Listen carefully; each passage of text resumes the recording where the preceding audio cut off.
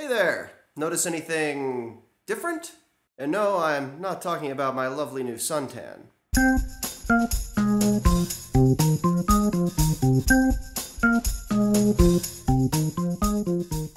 Yes, I'm now in Fort Collins, Colorado, which is fantastic, but none of my stuff has gotten here yet, which is not. That's why I'm standing here perched on top of an IKEA crate, talking into a camera perched on top of an IKEA chair, hoping it doesn't get too much cloudier in the next 10 minutes. Actually, looks like there's a thunderstorm coming in, which is just. But I mean, it's a totally acceptable time for a cycling blogger to have his life in complete disarray. I mean, there's nothing going on now, right?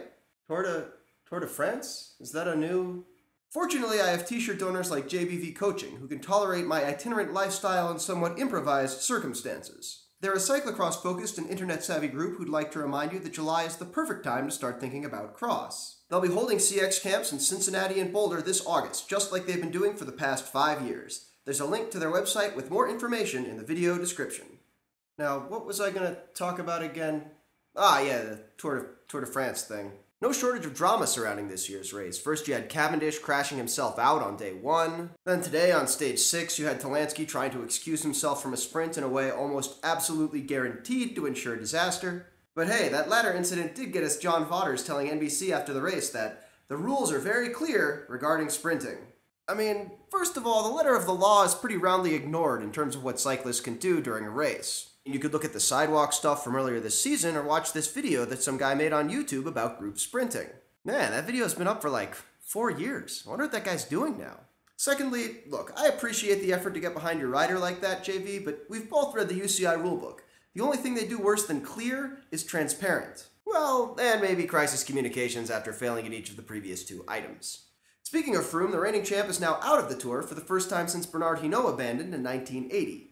Better blame the cobbles, or the pace caused by the cobbles, or the nervousness related to the cobbles, or the. Look, it's not like the ASO ambushed the Peloton's bunkhouse on Wednesday morning and made them choose between a cobbled stage or an awful waffle. The tour route announcement was made nine months ago, and the details were probably leaked to the important people well before that. Anyone who didn't want to ride cobbles could simply not do the tour this year. I mean, I know it would be terrible if people got the impression that the tour were just one event in a months long season or something.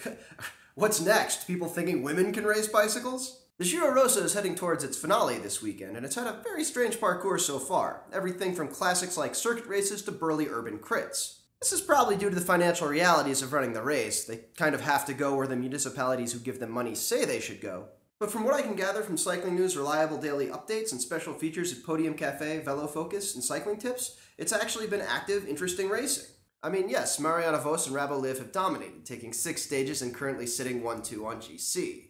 But a lot of that lead has come from old fashioned heads up racing. For example, reigning champion Mara Abbott of United Healthcare has lost time twice just by being too far down in the field during group sprints. Granted, she's the best climber in the world on her day, and it's more than fair to say she's got a chance of making up her three minute deficit over the hilltop finishes in the next two days. But with just slightly better pack positioning and split anticipation, that's one less minute she'd have to make up.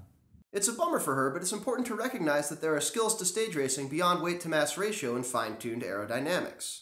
The Armstrong tours may be fading memories. Well, I mean, for the people who actually watch cycling, for the rest of the US, July is still Lance Armstrong Memorial Clickbait Month. But they've left us with this impression that the tour is all about clinical dissection of two not that interesting disciplines. And to be sure, a lot of the Tour de France still is. But compare Wednesday's Mudfest to the malaise brought on by today's 230 kilometer strip of tarmac. Keeping in mind that this is a sport designed to draw eyeballs, which would you rather watch?